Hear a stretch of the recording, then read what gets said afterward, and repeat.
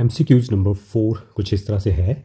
The magnitude of vector A is equal to two I plus J plus two K S option A nine option B five option C three option D one एक vector है।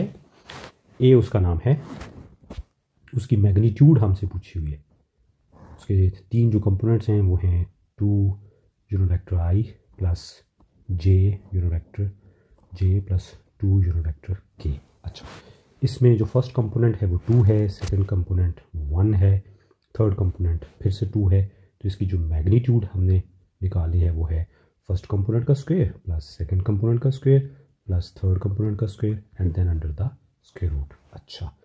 First जो two का square four plus one का square one फिर two का square four और अब इन सबको जब हम प्लस करेंगे तो आंसर आएगा नाइन और नाइन का जो अंडर रूट है वो होता है थ्री तो फिर कौन सी ऑप्शन सही है? ऑप्शन सी इज़ करेक्ट और दैट्स इट चलते हैं नेक्स्ट एमसीक्यूज पे।